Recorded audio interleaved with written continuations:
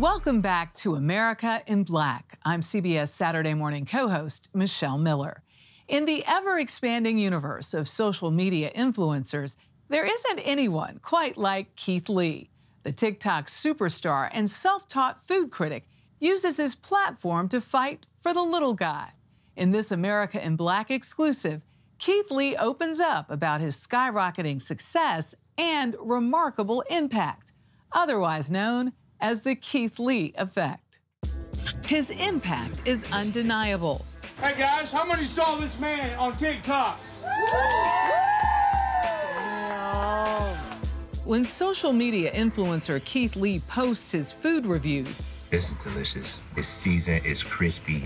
Followers show up within hours, if not minutes, to test his critiques for themselves. She says the day Keith Lee paid a visit, she only had about four other customers. Now the line wraps around the building before they even open. With a following of nearly 16 million, Lee has amplified a mom and pop food scene that might have otherwise gone unnoticed. A real world phenomenon that's become known as the Keith Lee effect. The Keith Lee effect is a catalyst. It's a beginning of things. It's a spotlight to those places that don't have a spotlight. It's a marketing platform. It's absolutely free.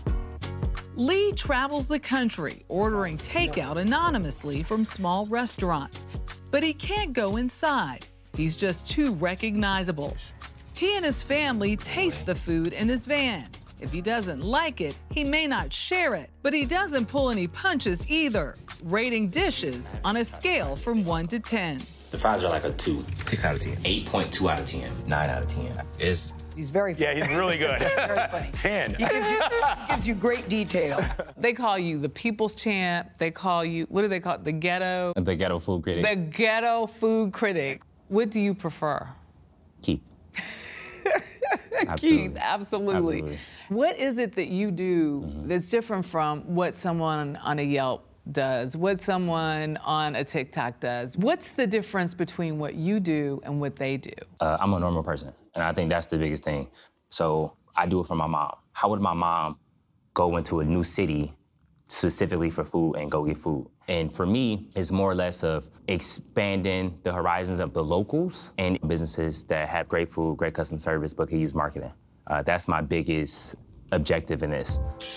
But before becoming the super popular food influencer that we know today, Lee lived another life as a professional mixed martial arts fighter. Going by the nickname Killa, Lee began making a name for himself in the MMA world. Still, he struggled with social anxiety, which led him to making YouTube videos. Hey, my name's Keith, and I came to eat with you. Is that cool? Okay, cool. So I literally would set up the camera and I would pretend there was a thousand people looking at me, even when I had four followers, five followers. Uh, and I would just talk to the camera as if it was a crowd of people. And that just turned into me doing like family content. Lee and his wife Ronnie began making family videos in their two bedroom apartment.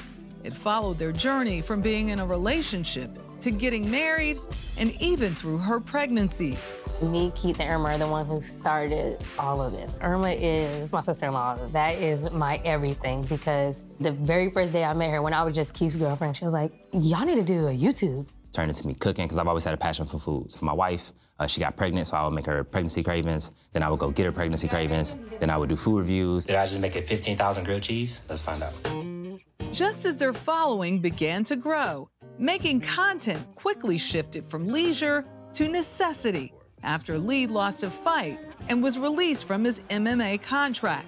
He had no concept of where his next check would come from. So picking yourself up after something like that was difficult. I think difficult is an understatement. I've reached a spot that I would consider the low or the bottom, and now I'm not afraid of it anymore because I've seen it. Within a few months of posting local food reviews, Lee's social media presence grew sizably he was able to gain his first brand partnership with Wingstop, ultimately finding his true calling in supporting the lesser known, largely black owned establishments. We caught up with Lee in Dallas on the first leg of his second food tour to review a local favorite. Nikki Jackson, the owner of Absolutely Edible Cakes, had been appealing for Lee to come for weeks with videos and custom t-shirts to get his attention. Keith Lee, where you at? Hurry up, because I'm going to bug you till I hug you. But she had no idea he was outside tasting her food and recording a review. I got it. Let's try it and rate it 1 to 10.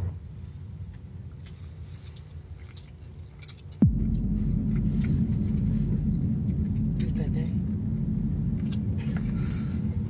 What's that thing? I've never had a sweet potato pie that tastes like this, but I like it a lot, like a lot, a lot. As I pray and I hope, after this, you reach your target audience. God bless you. Have an amazing day. Y'all be safe. Now you have to go get that lady a hug. A big hug. She about to squeeze me to death. After posting, Lee went inside to surprise the owner. That sweet potato thing, you make that by hand, don't you? I know you do. I know you do. I created the recipe. You know, I've been open mm-hmm. 22 years, but mm-hmm. People still in my list I didn't even know you were here. Mm. So I would bake up desserts and then I would trash desserts. God is working. He is doing what he's supposed to do when he's supposed to do it. The day that Keith came, uh, he was the second order. The following day, it was over 320. The line is stretched out the door every day since then. People connect to Keith Lee. So people want to go out and support what Keith Lee has endorsed. And that means a lot. Other black owners of small restaurants like Jackson say that the Keith Lee effect is not only real, but long lasting. I honestly didn't know how serious the Keith Lee effect was. So it's been about 70 days and we're still booming. Tell me before the Keith Lee effect.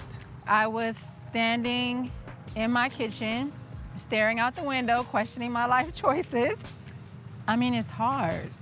Getting up every day, knowing that you don't have customers, but you gotta show up. You know, I was throwing away tons of pudding every week. After rallying online to get his attention, Lee and the family finally visited the Puddery, giving Janelle Prater the gift she'll never forget. This place, in my opinion, the best dessert I've ever had in my life. I agree.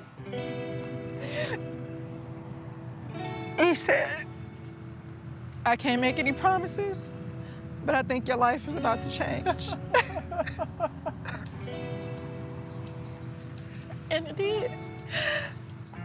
She went from throwing away 25 containers of banana pudding each day to now selling out some 300 units daily. What do you say to people who criticize the overnight success aspect of the Keith Lee effect?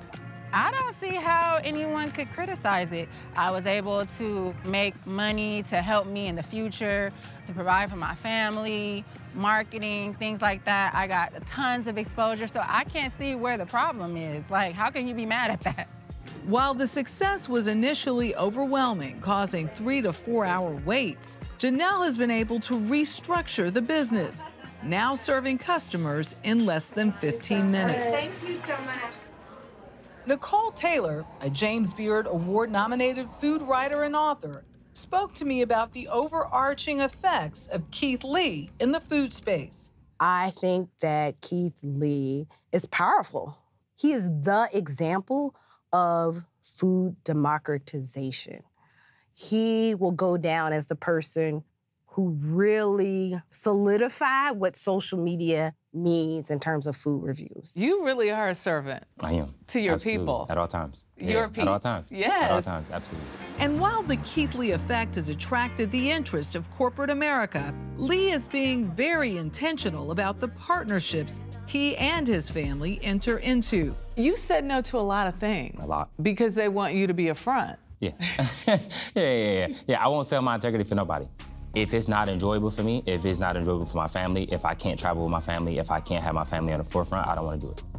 The Lee family have their sights set on taking the Family Food Tour to a larger platform with a mission to help more overlooked businesses get the recognition they deserve. If the influencer buzz ended tomorrow, what would you do? Be Keith. I'd be with my family. I'd be happy. Family, life, health, wealth. That's the real riches.